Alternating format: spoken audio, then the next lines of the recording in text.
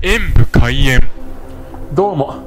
皆さん先日紹介した野菜ケーキのお店であ野菜ケーキだけではないんですね。野菜を使ったお菓子も売っていました。というわけで本日はこちら。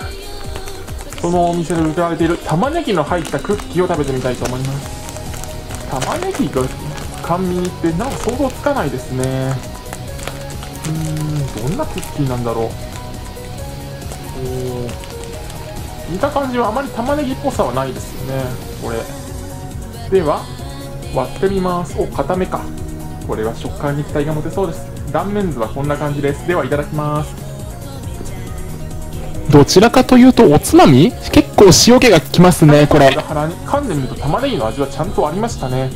固めでちょっと塩気があってうんオニオンリングというかプリッツのサラダ味というかそれに近いクッキーでした。甘いクッキーではないですねなのでおやつとして考えるとちょっとかもしれません。でも美味しくいただけましたのでこちらの点数とさせていただきました。玉ねぎもこうして食べるとまた違った麺が出ますね。ではサングラス。私似合うかな？思ってて。いや似合わないですよね。このメガネでもこうなんですから。ご視聴ありがとうございました。コメントしていただけると嬉しいです。演武閉園。